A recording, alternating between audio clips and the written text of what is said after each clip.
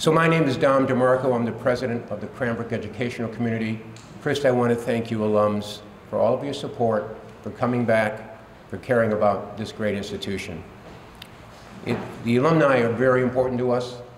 Uh, it's what keeps us going. It's what keeps this place so vibrant.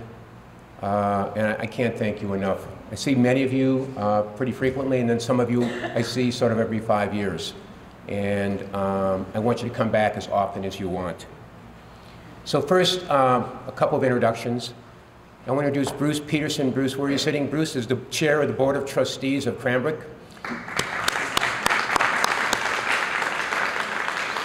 So Cranbrook today is run by a, a, group of trustees that have representatives from schools and the Art Academy and also the Institute of Science and some at-large trustees.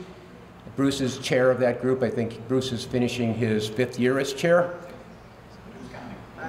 And uh, is my boss. So I have to behave up here today. And then Jameson William Felisky. Jameson, please stand. Class of 86.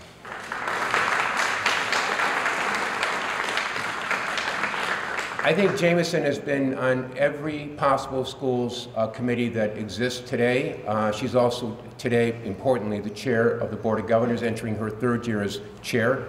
Board of Governors of the schools has done just a spectacular job. Was my partner, uh, among uh, as well as some others here, uh, in uh, the search for a new director of schools, and, and played a really key role in that effort. And I couldn't thank her enough for her partnership. So thank you. So it, it, gives me great pleasure, again, to welcome our alumni back to campus, and in particular, this Alumni Assembly. As I've noted before, while there is much activity in our campus during the school year involving more than 1,600 uh, pre-K through 12th grade students, ages three and a half to 18, I'm convinced that the energy level increases tenfold on Alumni Weekend. I love seeing so many smiling faces, hearing so many enthusiastic greetings, and enjoying the recollection of our returning alums from Kingswood and Cranbrook. On behalf of all of us at Cranbrook, we hope you come back often. Let me begin by congr congratulating Claudia Schutte and David Watson on their honorary alumni status. Uh, I think the two of them maybe danced a little bit too much last night, uh, and so probably aren't with us yet today, or waking up slowly today. Uh, you're forever connected with the Cranbrook alumni uh, that you have guided so well. Uh, and I also want to recognize Margie Brown of the, alumni, uh, of the Alumni Relations Office in receiving the Alumni Appreciation Award. Thank you, Margie, for all you have done for Cranbrook Kingswood alums. I also want to recognize the generosity of schools alumni and particularly members of the Cranbrook class of 1968, who have secured already approximately $575,000 for scholarship.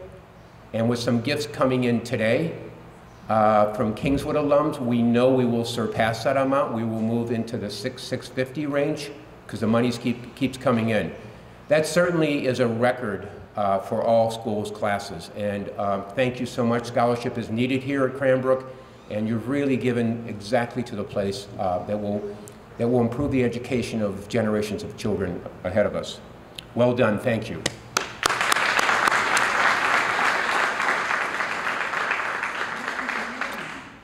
So, uh, we're here to recognize two of the many alumni who represent the very best of Kingswood and Cranbrook.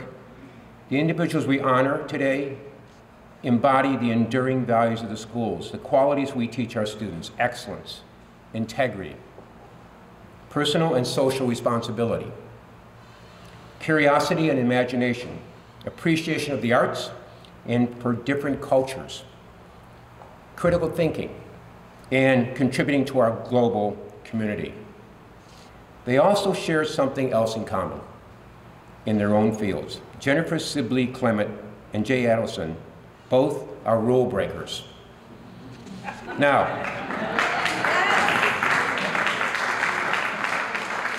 now before you turn around and look for the security office, let me tell you what I mean. I gave an address to the uh, Horizons Upward Bound graduating students this year, and I offered them eight rules proposed by Harvard professor Francesca Gino that she asserts good leaders should break to become better. Of those eight, there were two new ways of doing things that particularly resonated for me. First, seek out new ideas, people, places, and things to find inspiration. And second, break the habit of seeking opinions or perspectives similar to yourself. Jennifer and Jay have embodied these contrary approaches in their lives and had great success because of it. In Jennifer's writing, she leads us to learn about different cultures of life, circumstances, in a way that challenges our preconceptions. The powerful, understated quality of her prose and poetry often contrasts the grittiness of her stories. Through this dichotomy, she operates, she opens our eyes to new perspectives and our minds to new ideas. Jay's experience as a serial entrepreneur defines someone who's always looking for the new and the different. I suspect Jay would be the first to admit that sometimes the new ideas or inspirations have not been successful. But I suspect he would also acknowledge that often taking a wholly different approach has in fact led to breakthroughs. And we certainly heard that yesterday in your address to the senior boys. Jennifer and Jay have another thing in common beyond their rule breaking. They're both doers. Jennifer's work with PEN International and previously with PEN Mexico has focused on press freedom safety. This is vitally important in today's world of fake news. Jay's work in this area of cybersecurity is also critically important to our protection and well-being globally. The real-life examples that Jennifer and Jay offer our students and all of us as rule breakers and doers reflect the essence of what Cranbrook Kingswood education should inspire. Congratulations to Jennifer and Jay, our 2018 Distinguished Alumni Award recipients.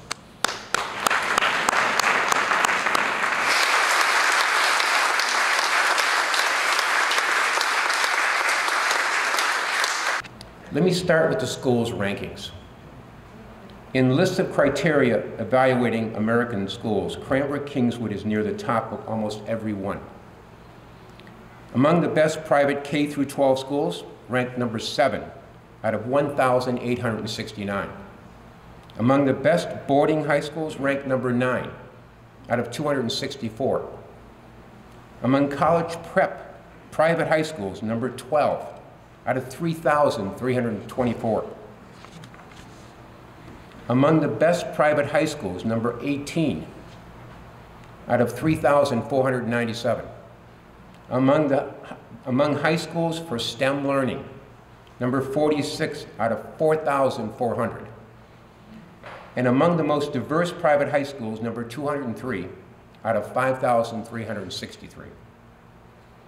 Within Michigan schools, Cranbrook Kingswood is the highest ranked in all but one categories.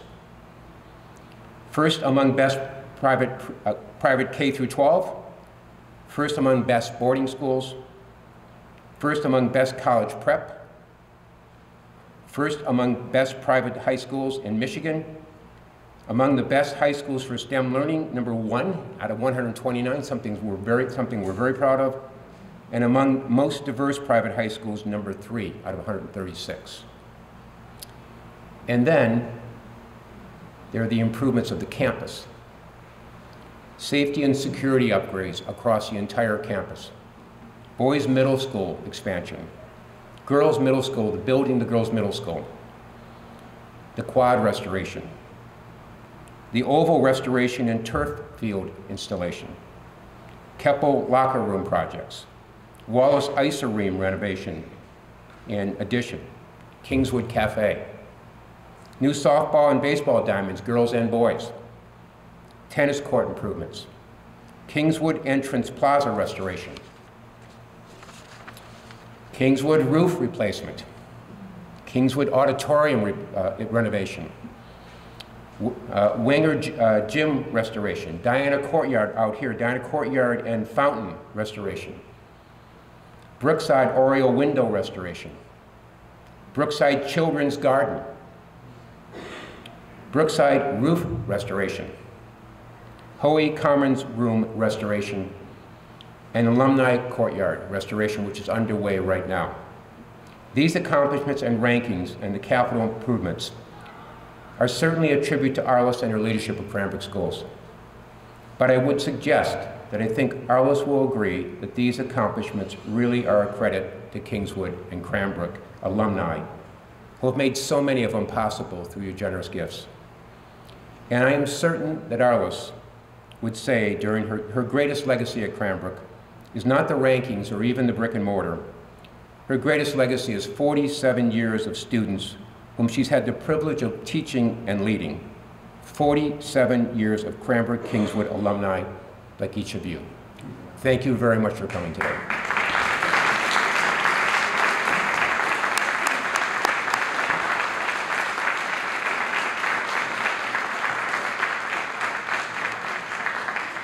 So I'd now like to introduce Wade Mezey. We're going to go in order now, right, Arlyce?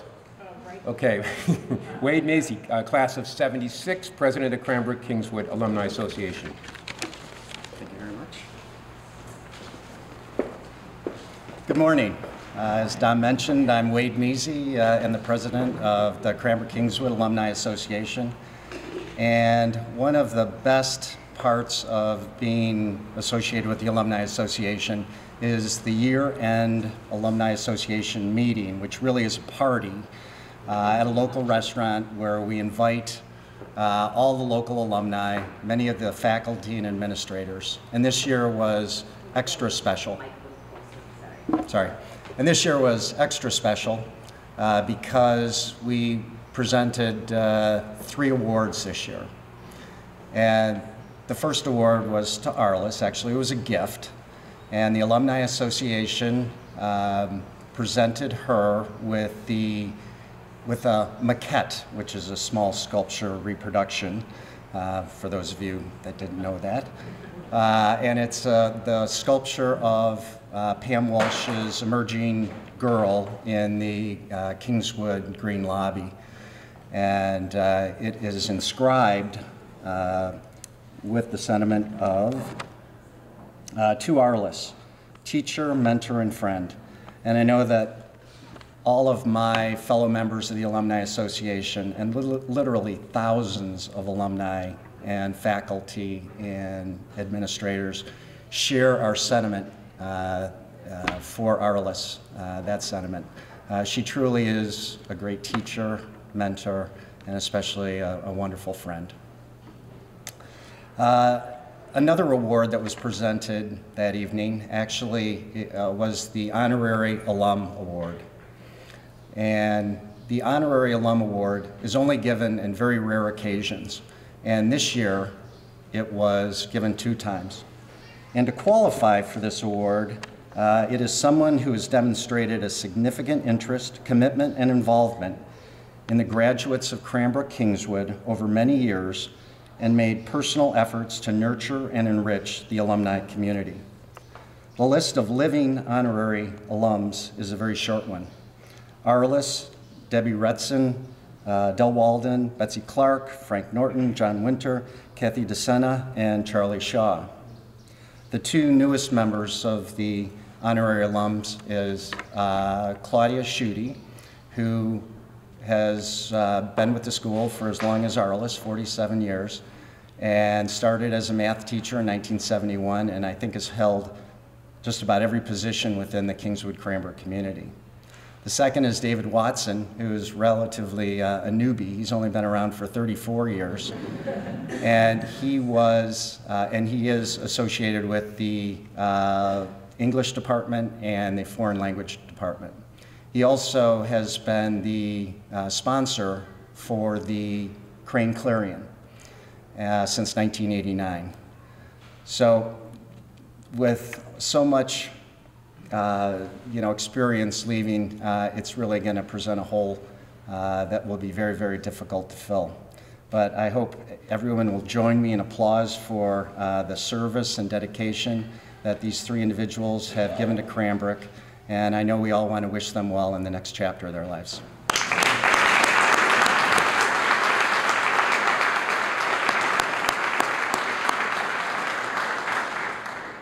I had the pleasure of listening to Jay Adelson, class of 1988, yesterday at uh, the boys' graduation, and it was, it was a fantastic speech.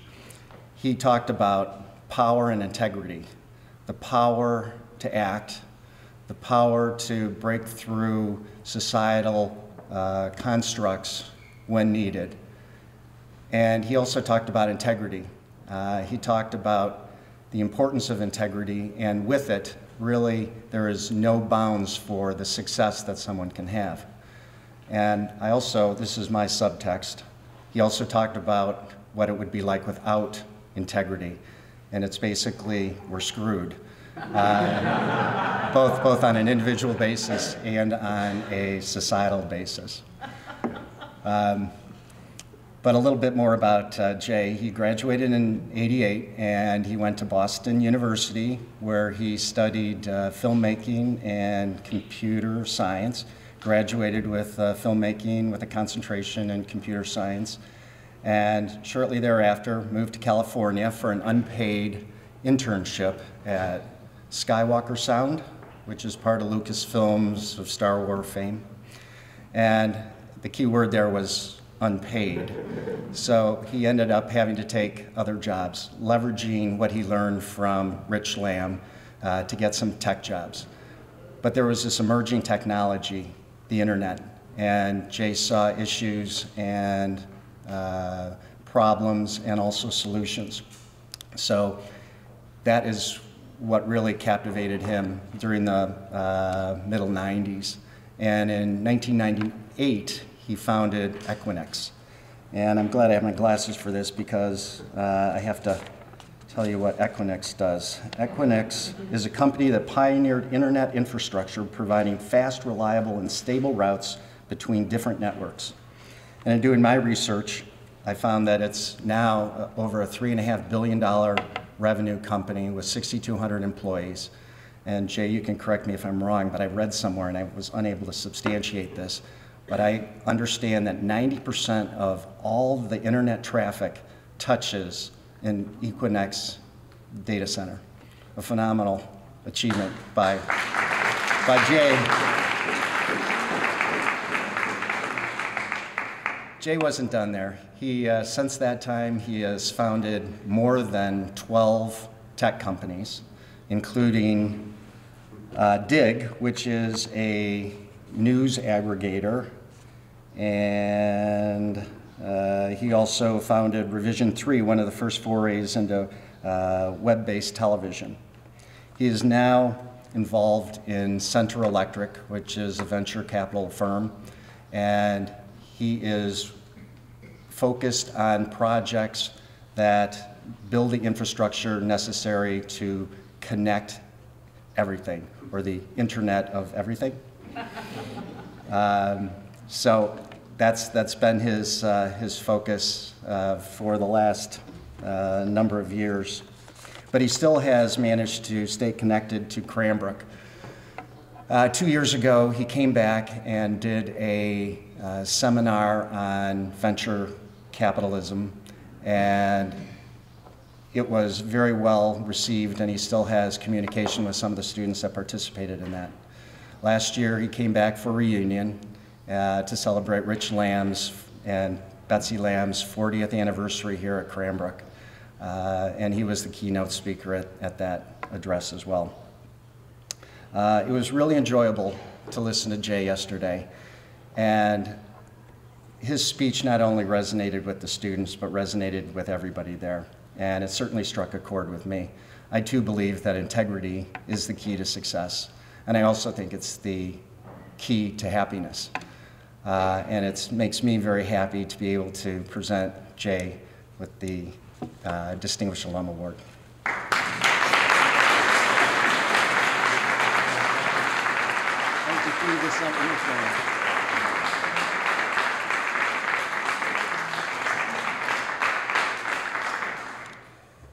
Uh, this is hard. Um, I hope it's okay. Um, I gave a, a, very different talk yesterday to the seniors, and I want to share something a little more personal. Um, what Cranbrook, and I'm sure you all share, um, what Cranbrook really means to me. Uh, when I was seven, my second grade public school teacher, Mr. Turbo in Southfield, he told my parents that I was severely emotionally disturbed and learning disabled. For real. He questioned whether or not I should go to school at all. Um, and my parents decided to have it go for at least one more year. And my third grade teacher there, her name was Jewel Anderson. And I'll never forget her because uh, she saved my life. Um, so this teacher, she would read us chapters from Little House on the Prairie, and she'd teach us about humanity and caring and engaging us every day. And after about a month or so, she reached out to my parents and said she had to meet with them. It was critical as soon as possible. And my parents showed up terrified, thinking that this was it. the big axe was about to fall. They were sure I was getting kicked out. Um, instead, Mrs. Anderson explained that the problem wasn't their child, it was the environment. They needed to get me into Cranbrook. And that wasn't a question of like private versus public or getting out of Southfield. It was literally specifically Cranbrook. Um, and my parents, who were, who were public school teachers when I was very little, they understood the value of a great education, but more importantly, they were worried about my self-esteem. Without really knowing much of the details about Cranbrook, they took a chance, and I ended up coming here with my sister Anne, who's in the audience. Anyway, what followed was like a rebirth. Uh, at nine years old, I had these enormous Coke bottle glasses and a terrible haircut, and I was a walking target. Um, but at Cranbrook, every teacher, every single teacher was a Jewel Anderson, and every moment was about engagement and love. And even the other students, many who knew each other for so many years from a kindergarten, I was in fourth grade, they accepted me and, uh, and my foibles. And you know, last night I had drinks with, with Brad Hampton. He was the kid who actually walked up to me on my first day of school and took me out and said, hey, it's gonna be okay, and toured me around Brookside. And we're still friends to this day. And remember, this is, this is a, for me anyway, it was, it was incredibly, it's a homecoming to come back here.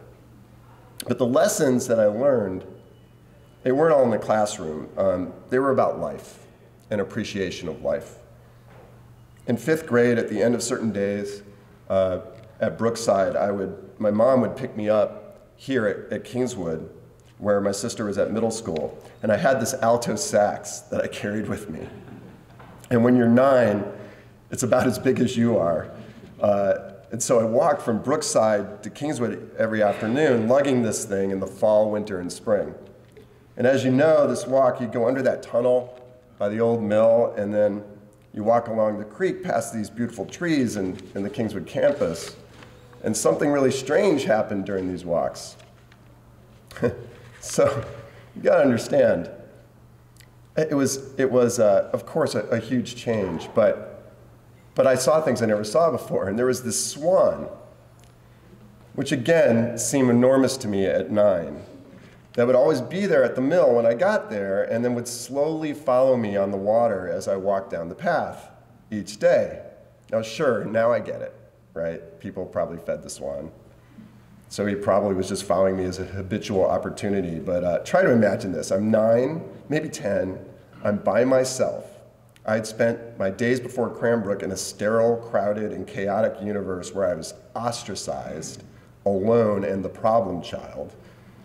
And not only was my world completely changed on a day to day basis, along with what is arguably one of the most beautiful landscapes imaginable, but I also had my own freaking giant swan follow me every single day, who I named Ned. Well, so after having Ned follow me for months, I finally had the courage to approach him, and he was, you know, beautiful. I'd never seen one of these before, so peaceful looking. And I held out my hand, and you can guess what happened next. Ned bit the crap out of my hand. Uh, this doesn't. it's just. it's not just one oddball experience. My life here was filled with things out of a storybook. Cranbrook wasn't my school, it was my entire childhood. If nothing ever happened to me in my life of any consequence after I left here, my experiences I had would more than fill up countless novels. And it hurts me that I couldn't share the same experience with my own children here, but I, but I hope I was able to use what I gained to help them uh, and raise my own kids. And I remember every detail. I remember every ginkgo leaf, every icicle on a copper roof, every chick hatching in Mrs. Hoxley's incubator, every school dance, which, by the way, the first time I ever danced with a girl was literally standing in this spot of this floor right here, Heather Waddington. Um, you know, so my kids, they wonder why I know these things. I have this subconscious attraction to arts and crafts and Saarinen design, and why art is as valuable to me as science, and why I encourage my kids to know their teachers, which they think is a weird request, no matter what the subject, and where I learned the dexterous skill of navigating a field without getting goose crap on my shoes, and why sometimes silence outdoors is a treasure you must not squander. And yeah, that swan's bite. so I'll just close by saying I am, I am beyond honored. I don't even know how to process. I'm so grateful. I never really felt distinguished at all until now, and I'm just happy to be home with you. So thank you.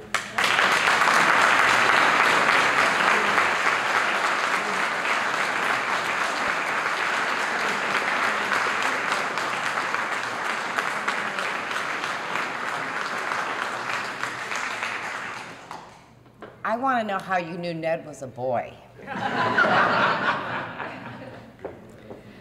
um, uh, good morning. My name is Laurie Frankel, and I'm the president-elect of the Alumni Association, a class of the member, a member of the class of 79, and the parent of two current students. The Alumni Association had a very busy and successful year uh, supporting the mission of the school and engaging and connecting with alumni. We have been very fortunate, as you heard uh, Dom say, to have Margie Brown on working with us for the past 18 years. At the spring annual meeting that Wade referred to, we presented her with the Alumni Appreciation Award. So if you see her, she's in the green lobby right now registering people, please congratulate her and thank her for all her years of service. She will be leaving us at the end of summer and she'll be very busy this weekend because this is her big, big thing. Uh, Sunday, there is a brunch that will be dedicated to Margie. I believe there are still some tickets if you'd like to come. It's, I understand the food is amazing, and it's a great event. So she's in the green lobby. Please make sure to, to see her. Yesterday, I had the privilege of listening to, to both of our distinguished alumni speak, and I would like to talk to you about our distinguished alumna, Jennifer Sibley Clement, from the class of 1978 who addressed the girls yesterday at their commencement ceremony. And it occurred to me we really could not have picked a, a more perfect person to address the girls that were graduating. Uh, Jennifer was born in Connecticut, moved as a, a baby, which she corrected me yesterday, uh, to Mexico City, where she still lives today. She came to Kingswood as a boarder for her junior and senior years to, to get a good American education. She's a well-known author of several acclaimed books, and her books have appeared on numerous international best lists.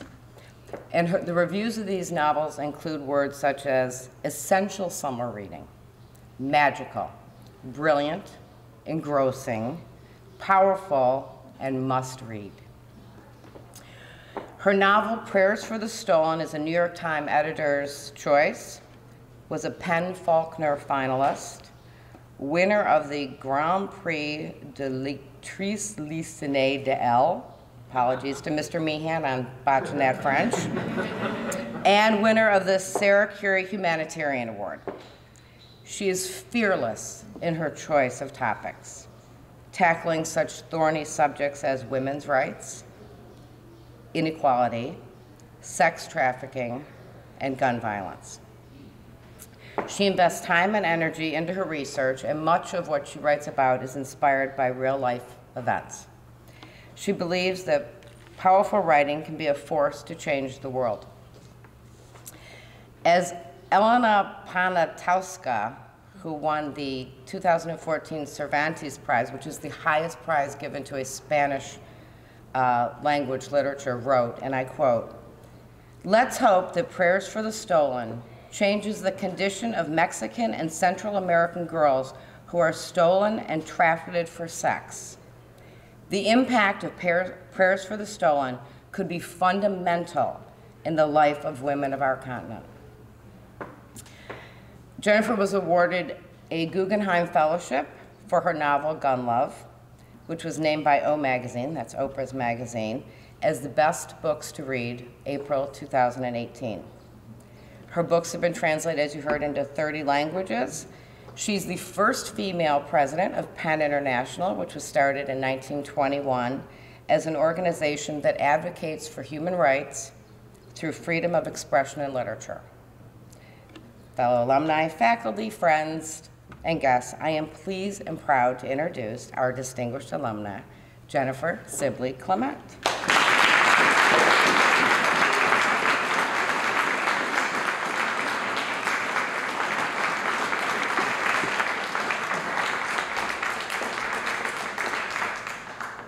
Well, I hadn't actually planned to tell a little story, but now I will after yours. Um, thank you so much to everyone for this award. I'm deeply honored. So before I say some other words, I want to just remember Madame Paus, who was my French teacher at Kingswood. And one morning I woke up and I'd had a dream that she took me to the world of spirits. And um, we visited with my grandparents. And I thought, God, this is a really funny dream.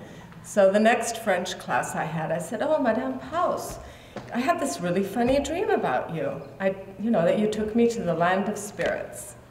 Well, she went completely pale, freaked out, and it turned out she was a psychic spy in the Second World War.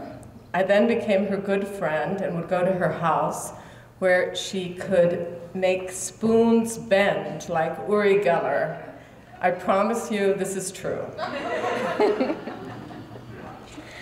so, um, I'm honored to be here and to have my work recognized in such a special way.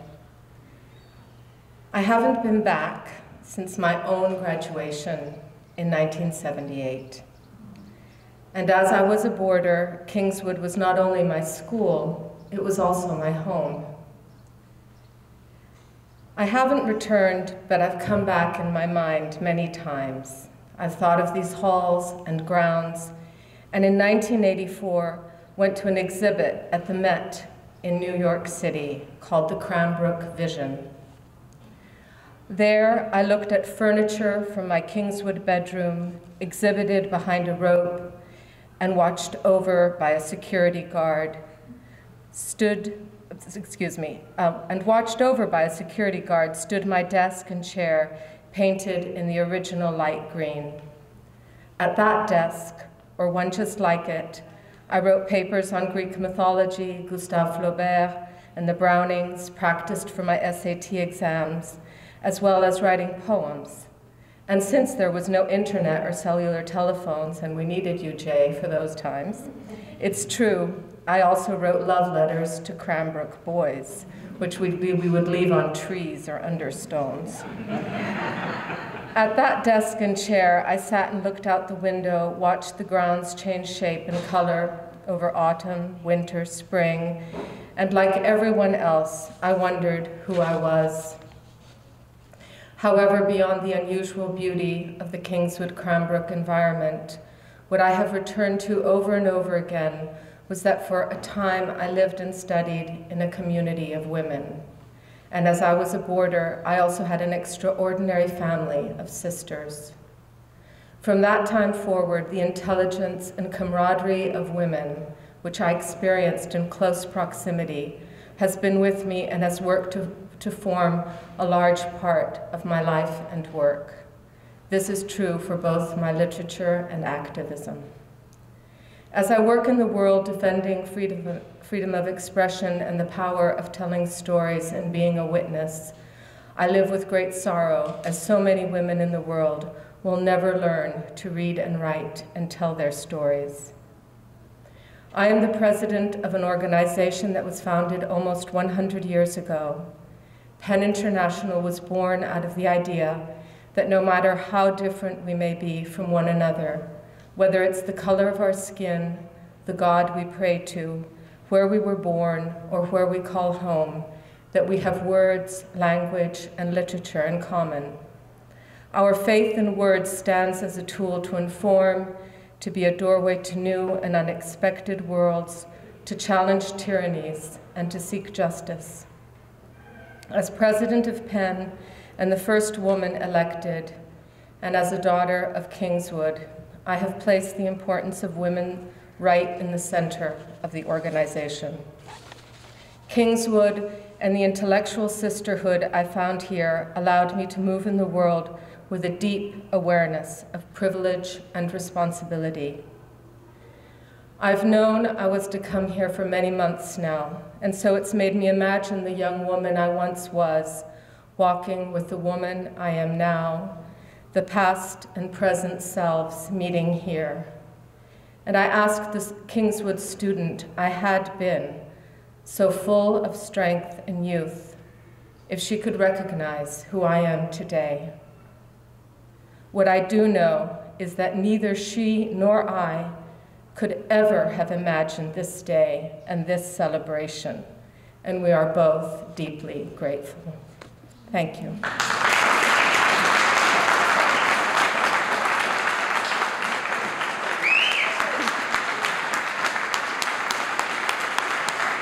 Stay here for a minute. I'm Susan Post, Director of Alumni Relations and one of Jennifer's classmates. The class of 78 is filled with pride. We're so, so proud of you.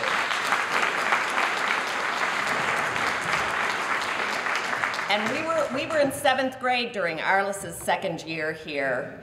And, uh, and I just, I know that this audience is ripe for this. We could not let her get out of here without having a little bit of fun at her expense. So we've got a little short video for you to enjoy before we let her take the podium here. So we're gonna get that started now.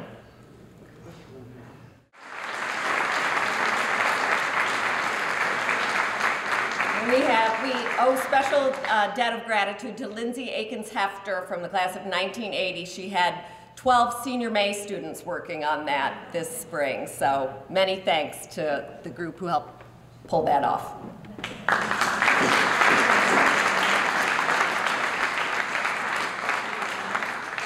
Well, we know uh, it had to be a member of the class of 78 that was responsible for that. And, it, and as alums, you might be also thinking, so this is what happens during the course of the school day, you know? All those administrators and staff members who uh, contributed to this. Uh, there's an evil genius in Susan Post, I have to say that. Um, but uh, thank you uh, very much. Uh, thank you, Dom, for your kind words. Um, I wanted to go last because, um, one, I want to get through my remarks and I can exit quickly if, if need be. But I want to take this time to not only welcome you to the campus, but also thank you for the many, many years that uh, you have supported the school, uh, you have supported the students and faculty, and uh, you have supported me personally. Um, this weekend is the efforts of so many people that I also want to acknowledge the entire development staff. Would you please stand and, and be recognized? They work tirelessly.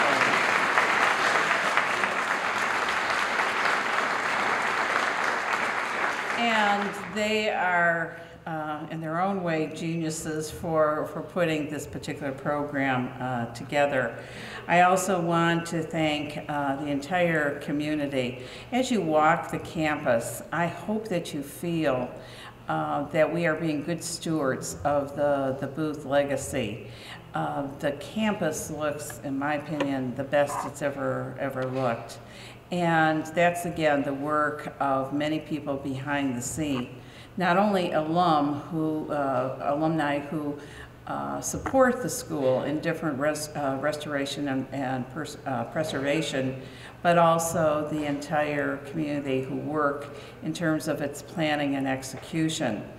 Uh, I would also be uh, remiss not to thank Jamie particularly as chair of the Board of Governors. Jamie,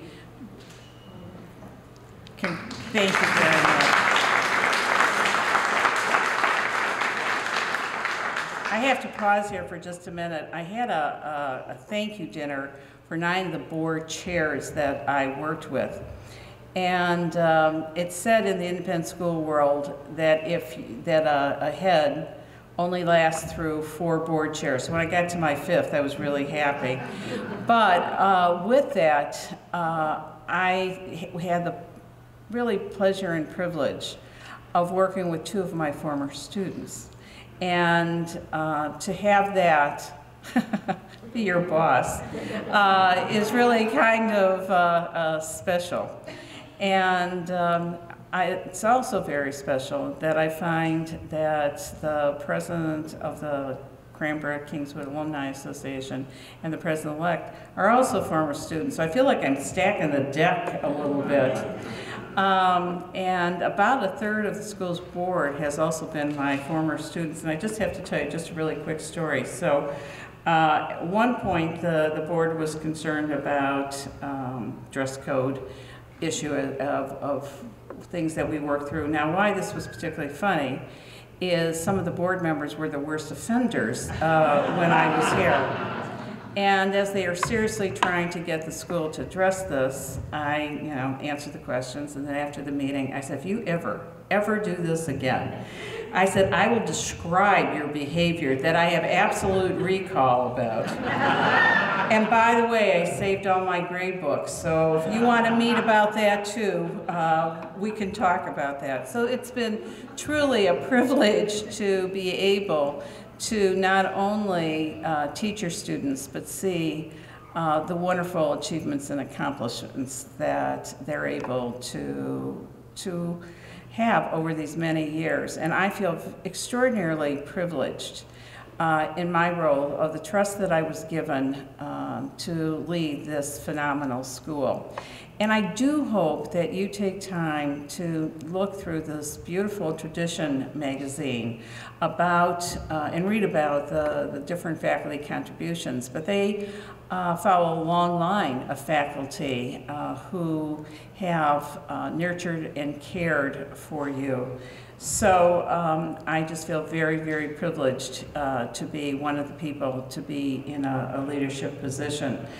I also want to add my uh, thanks and appreciation to the class, first of 68. Peter, where are you again?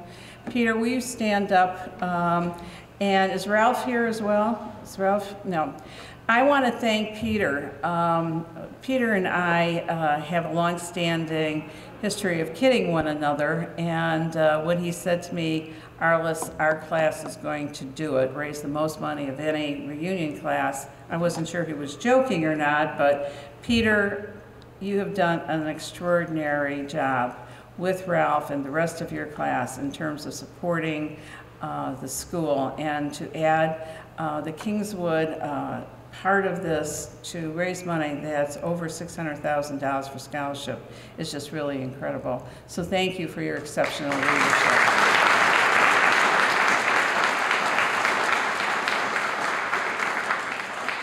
One of the, they, they've asked, and of course I never found, the speaking points is to acknowledge the, the class of 78 for also their participation in support of the school and its, uh, and its annual fund. Now the reason I smile about this is, shall we say, the class of 78 participation, that is like a perfect metaphor there in describing the class they're, shall we say, very active in their, their engagement with the school. So I'd like to personally welcome all of you back, and uh, I understand you're going to have a great party tonight.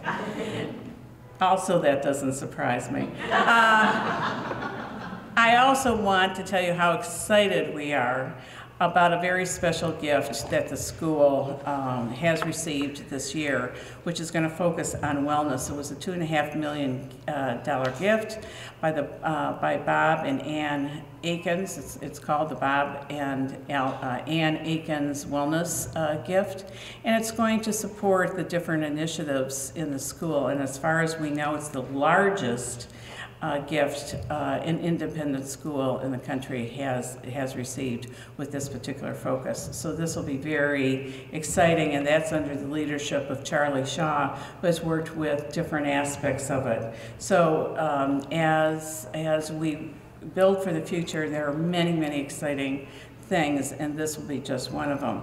But I would just uh, also add that uh, at Senior Awards Night. I was really um, moved. And you know, sometimes you can isolate things that happen in a school. But three of our graduates are going to three of the military service academies uh, the West Point, uh, Air Force Academy, and uh, the Naval Academy. And that to me is extraordinary. Not only are they going to the Ivies and to the University of Michigan and the other uh, wonderful public Ivies, but they're also making a commitment here. And to have three of your graduates, uh, it was a very profound um, ceremony that happened at the senior awards night. And I think you should be aware of that, particularly in terms of our two speakers who I sincerely want to congratulate for their messages uh, to, to our graduates. Uh, Jennifer's message was empowerment of women, and Jay's was, but power without integrity accomplishes nothing. And I wanted to tie those two things together, what I observed at the Senior Awards night. This is a very special school. We're doing wonderful things. You, our alumni, uh, give us such a great sense of pride. And um, I want to thank you.